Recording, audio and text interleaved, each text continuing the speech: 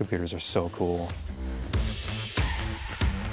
It's been really exciting being in the computer science classes. I've gotten a lot of different experience programming in Python and Scratch and Java, and I've learned a lot of cool things about how to apply my skills and code my own projects as well.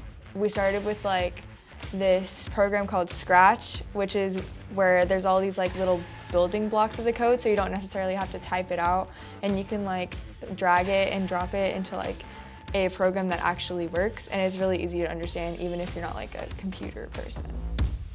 So computer science is mainly programming, yes, line after line of code, nitty gritty, finding solutions to problems, all of that. But it's also like, I've learned how to think logically in steps. It's connected to other classes like math, thinking in steps instead of just like, there's gotta be one solution. There's many numbers of solutions and I've absolutely taken that away from this class. I get a thrill of adrenaline from just coding as a whole because when you code, there's a lot of complications that go along the way, like compiling errors.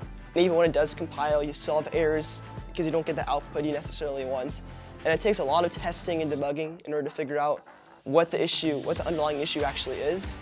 But when you finally reach like this solution and know what's solving that issue, you just get such a huge feeling of relief and excitement, and you just can't wait to do it all over again. Computer science students can really do whatever they want, but I feel like a lot of them go into robotics. I've gotten a ton of experience in image detection, motion profiling, and being able to use the skills I learned from both computer science classes and like math classes like calculus, and being able to, to develop algorithms from them that completely expand my skills to the next level. We learn a lot of different like hard skills and soft skills in robotics, so we have to learn how to use different types of machinery, actually construct and design a robot. And then I think another big thing we learn about on the soft skills side is working with your team because it's kind of run business-like. Uh, there are different sub-teams and if you don't understand what the other sub-teams are and their spots, then you're all gonna get lost and not be able to work together. Our current competition, Best Robotics, also incorporates a marketing, website design, um, display and outreach and stuff. And so it's kind of an overall business experience that you learn and also for managing, managing a team. There's something for everyone, so I think everyone should at least give it a shot.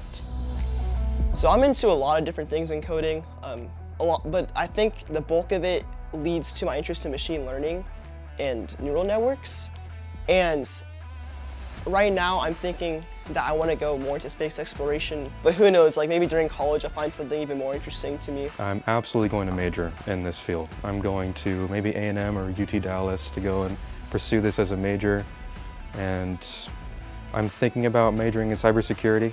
That is one thing that's definitely caught my eye, and fingers crossed, I'm hoping to make it big in this field.